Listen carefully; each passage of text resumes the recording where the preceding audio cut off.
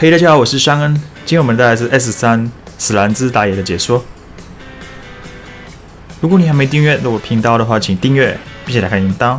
那觉得我影片还不错呢，也别忘记点个喜欢。我们这一次本来是要走射手的，选角色的时候我说了我要走魔龙路。那我倒杯水回来呢，我就发觉我变成了打野。呃，可是没关系，那我们就打野吧。右上角可以看到我们的出装以及 RE。奥义的部分呢，我们会带五个夺萃，嗯，有更好的吸血。那很感谢 Erwin 在昨天的赞助。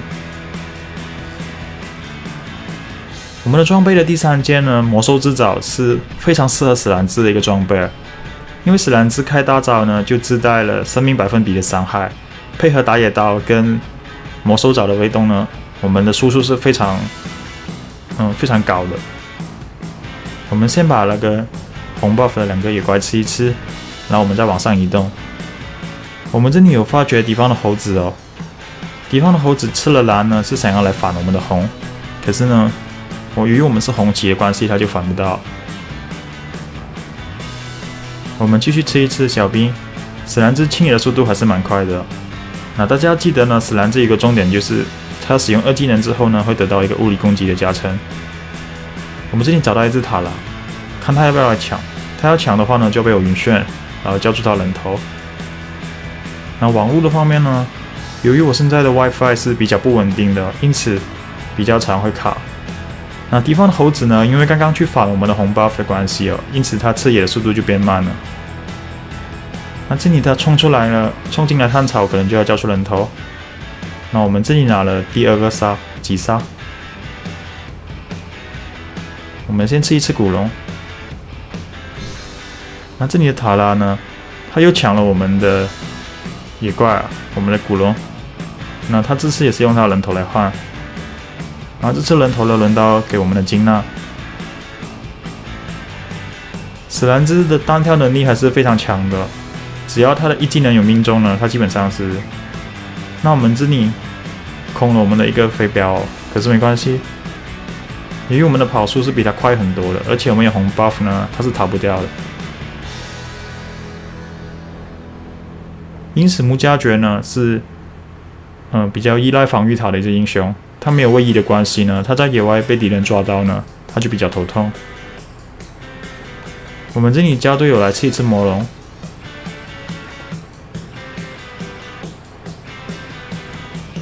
那现在的制裁呢，呃，会优先制裁。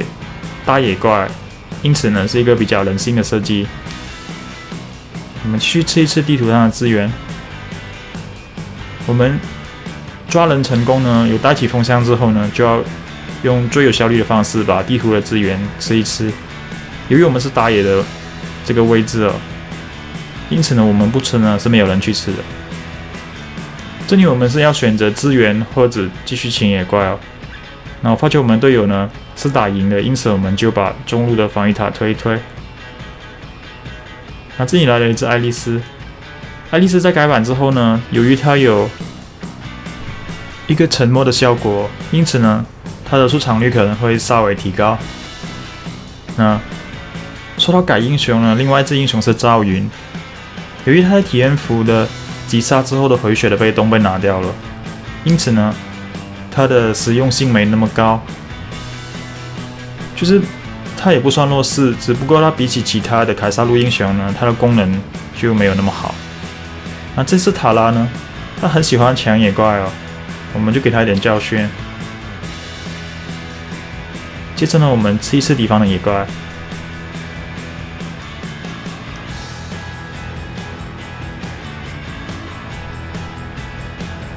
那这是我们发掘敌方的猴子哦，我成功击晕。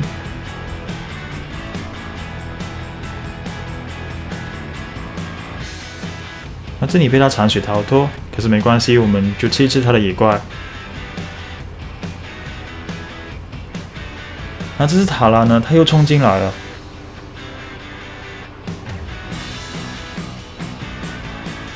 由于我们的这个配装呢是没有买那个聚魂剑，如果有买的话呢，他可能就会比较可怜。我们这里蹲到敌方的小丑，先晕眩，然后继续普攻。啊，他运气比较好的是我普通攻击他那么多次呢都没有暴击哦。如果出现一两个暴击呢，他就要死掉。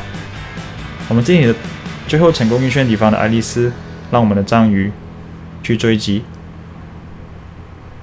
那最后我们的章鱼也成功的击杀。我们这次是一个零换四的团战。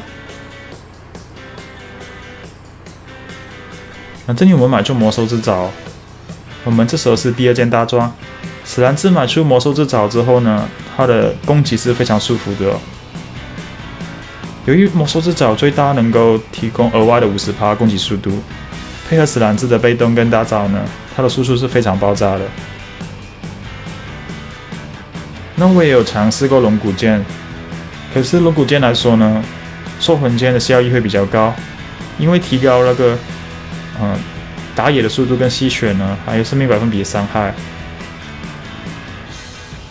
因此会让史兰兹更快的进入中期。史兰兹是一只前期非常弱的角色，可是只要到了中期呢，它就会比较好一点。那前期史兰兹的功能呢，就是使用晕眩配合队友击杀敌方。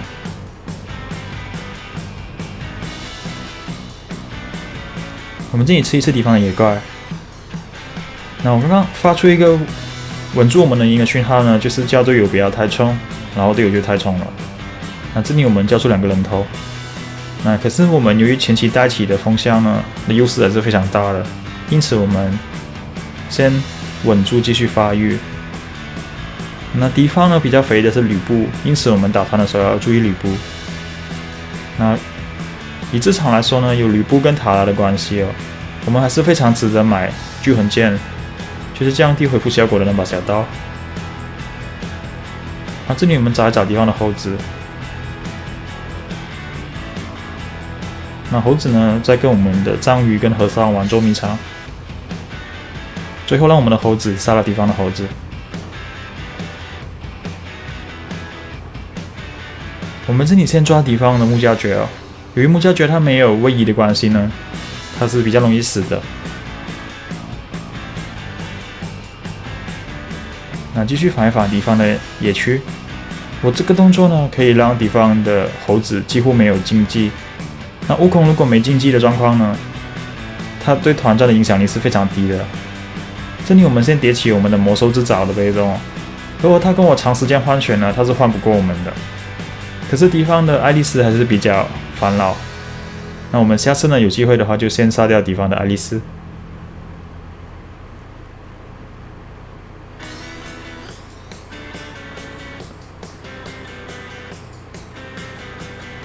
如果要买聚魂剑呢，可以不买那个升枪，呃，升剑。我们这里晕眩敌方的木加爵，让我们队友收到人头。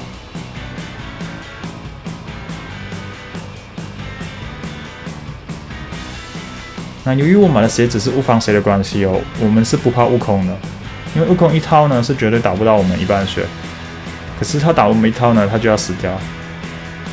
我们这里先是个凯撒，让我们的队友呃更稳定的结束游戏。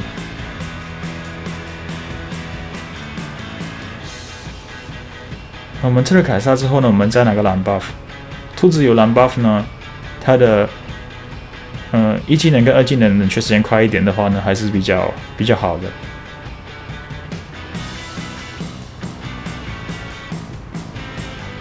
我们这里向敌方防御塔压境，我们试试看击杀敌方的塔拉。比较可惜的是，我们的晕眩空了。如果我们的晕眩命中呢，它是死定的，因为晕眩命史兰这晕眩命中之后呢，会增加五十趴的攻击速度。啊，大家有发觉呢？我的一技能空了，可是我们还是差点把他打死。因此，我们这套装备的输出是非常高的。这里敌方的爱丽丝再一次救了敌方的吕布。我们先击杀敌方的悟空，最后击杀敌方的塔拉。